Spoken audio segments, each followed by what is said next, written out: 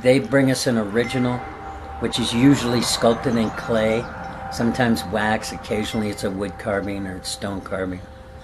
And we replicate it into bronze. With metalworks around the country, Bucky Hall has been the finishing touch of Western art iconography for a lifetime. After 46 years, I always just kind of took it for granted. Yeah, oh yeah, that, we did that. He's left with a husk of what was after millions were lost in art, machinery, property. Anything that could burn inside that steel building burned, and it was hot. I mean, the roof sagged and everything. Even he and his bandmates' instruments, mostly gone, all in just five hours overnight. I don't know how big a loss it is. So it, it may end up that they have the coolest look of all time when I get them all cleaned up, and everyone's going to be like, wow, where'd you get that color? But inside the walls, ingrained in the raw materials that made up the building, lived something more.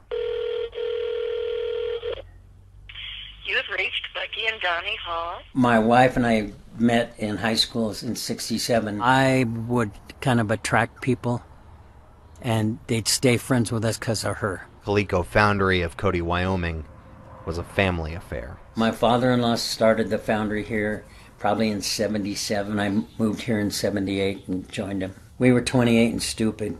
My wife and I were. Donnie, Bucky's wife, passed away three years ago. The foundry, a mere trace of her family, and to Bucky, her, now lost to time. I'm, I'm going to quote my wife's parting words in the ambulance This sucks. and this sucks. but with the comfort of kids, grandkids, and friends, life will go on. What's the Wyoming way? We're going to clean up and move on. Part of it is, uh, you know, your life continues. Marcus Cocova, MTN News.